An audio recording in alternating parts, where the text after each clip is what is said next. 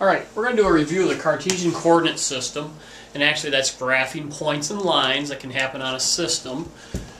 Here's the thing, we graph two variables. And we'll have the horizontal always be the x-axis and the vertical always be the y-axis.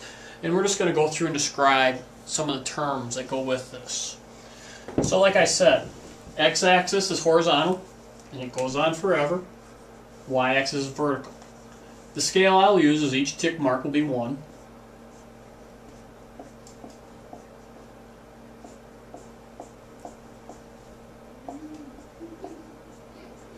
And we always have where we start, and that is always here in the center.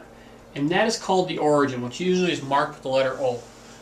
And that origin is just, a, its base means home. So this is our origin. This is where we start.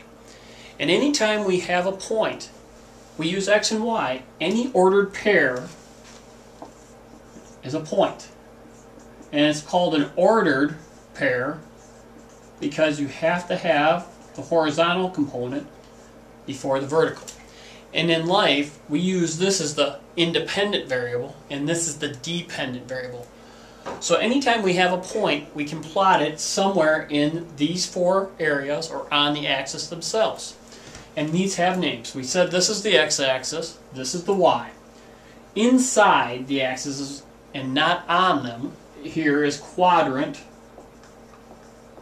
1. And this is the most common quadrant that we like because Anytime we start from the origin, right and up are always positive. So here we have quadrant 1. Now we start rotating counterclockwise.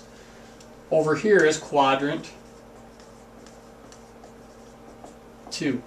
Down here is quadrant 3. And finally we have quadrant 4. And we like to use Roman numerals. It's just a notation thing.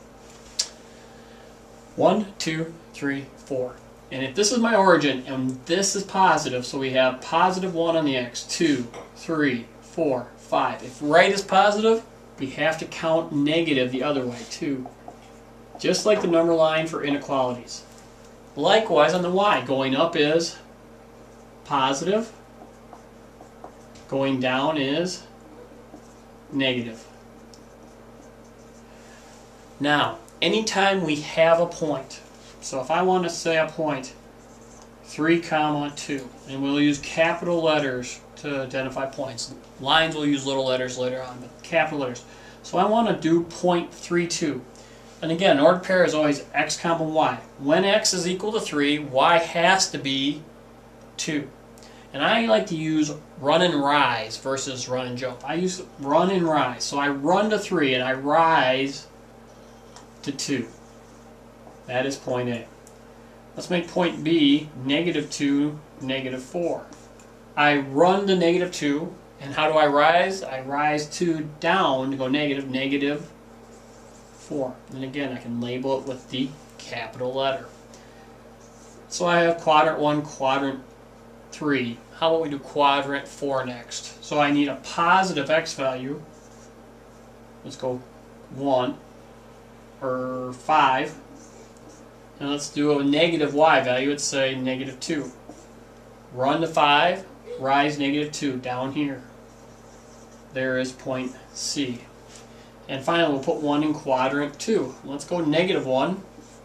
Now we need a positive y. Let's say 4.